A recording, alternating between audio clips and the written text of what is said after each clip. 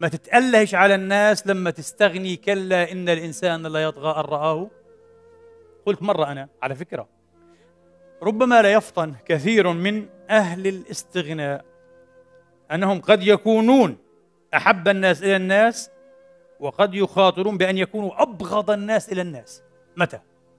متى يكون الغني أبغض الناس إلى الناس؟ حين يؤكد غناه بالقول وبالفعل يكون شخصا مبغضا لأن هذا الغني يمنعك فرصة أن يشعرك بفرحته إن قدمت إليه شيئا إيش تقدم له؟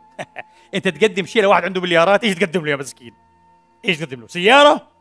خمسين ألف؟ شو خمسين ألف؟ كلام فارغ عنده مثل خمسين سنت عندك صح؟ أنت ما بترفع بها رأسا ولا مش صحيح؟ بتوطيش عليه تأخذ ال 50 سنت مستحيل هو عنده مليارات شو 50 ألف تعطيه سيارة يقول سيارة من وين لي؟ أنا يا دوب أعطي إيه؟ فلاشة عطر هيك. زجاجة عطر ب 100 يورو أو 200 يورو. آه. مستحيل إذا. مستحيل.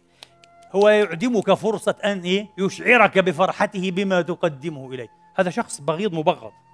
وقد يكون العكس.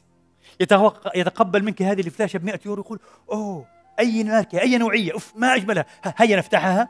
يا سلام شيء طيب جدا هذه احتفظوا بها. تفرح أنت المسكين صحيح؟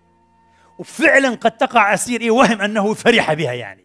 لا لا هذا من عمقه الإنساني هذا من عمقه الإنساني. وفي أغنياء كذلك يفعلون هذا. هذا إنسان عميق. هذا الغنى زاده إيه غنى روحيا وإنسانيا. فهم هذا.